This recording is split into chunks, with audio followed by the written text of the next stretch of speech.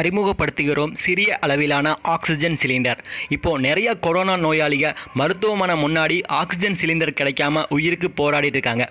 ஒருவேளை உங்களையோ அல்லது உங்களோட உறவினர்களையோ கொரோனா நோய் தாக்கி அவங்கள மருத்துவமனையில் அனுமதிக்கும் பொழுது அங்கே உங்களுக்கு ஆக்சிஜன் சிலிண்டர் கிடைக்காத சூழ்நிலையில் இந்த கருவி ரொம்பவே பயனுள்ளதாக இருக்கும்.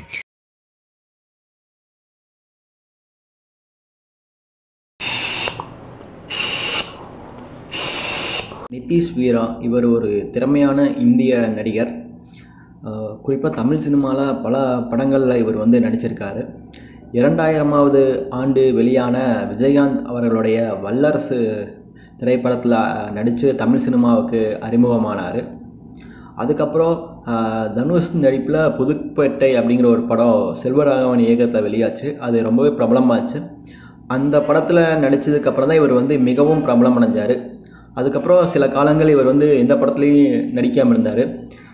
அதுக்கப்புறம் வெண்ணிலா காமெடி குழு அப்படிங்கிற ஒரு படத்தின் மூலமாக நடித்து கம்பேக் கொடுத்தாரு. அதுக்கு மட்டும் இல்லாமல் காலா திரைப்படம் உங்களுக்கு தெரியும். சூப்பர் ஹிட் திரைப்படம். அந்த படத்தில் வந்து ரஜினி சாருக்கு வந்து மகானா நடிச்சிருப்பார். இப்போது அண்மையில் வந்து ஒரு அசுரன் அப்படிங்கிற ஒரு படம் வெளியாகி சூப்பர் ஹிட் ஆச்சு. அந்த படத்தில் ஒரு முக்கிய கதாபாத்திரத்தில் நடிச்சிருப்பார். அந்த படத்தில் நடித்தது மூலமாக டூ கே கிட்ஸ் மத்தியிலையும் இவர் வந்து பிரபலம் அடைஞ்சிருக்காரு அப்படின்னு சொல்லணும். இவர் வந்து மூணாம் தேதி கொரோனா பாசிட்டிவ் இருக்குன்னு அப்படின்னு இவங்களுக்கு வந்து உறுதி செஞ்சாங்க. உடனே சென்னையில் இருக்கக்கூடிய ஓமந்தூரார் அப்படிங்கிற மருத்துவமனையில் இவர் வந்து அனுமதிக்கப்பட்டார். அனுமதிக்கப்பட்ட இவருக்கு வந்து தீவிர சி சிகிச்சை பிரிவுக்கு மாற்றினாங்க. வென்டிலேட்டர் உதவியோட ஐசியூவில் மாற்றி ட்ரீட்மெண்ட்டு தொடர்ந்து கொடுத்துட்டே இருந்தாங்க.